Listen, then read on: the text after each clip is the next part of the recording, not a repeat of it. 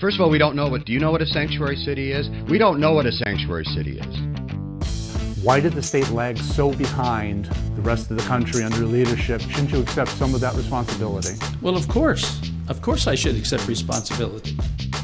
Every one of them has endorsed me, and you haven't been able to name anyone that's endorsed you. Uh, Senator, uh, Final word on this, please. only introduced that when you were running for reelection. You're not man enough to stand behind your own ass. I apologize to all veterans if, if, uh, if the outside groups have uh, painted me of saying things that I didn't say. You're not man enough to stand behind your own ass.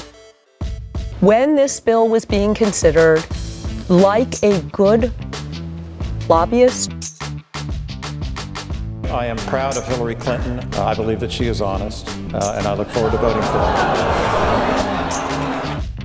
Doesn't this doesn't sound like you know a capitalist society at all? It sounds like really big-handed government. I'll tell you a little bit of my own background and how I think about this uh, this issue. My grandfather. Sure, I hope was you answer that specific Okay, question though right, at some right. point. I have heard comments from Missourians that they really feel that's an insult to their intelligence. Why should they trust you, given your unqualified confidence in a presidential candidate that six out of ten Americans say they do not trust? Well, Secretary Clinton has already apologized for what she did, and she made it clear that she regrets that decision and, in hindsight, wouldn't do it again.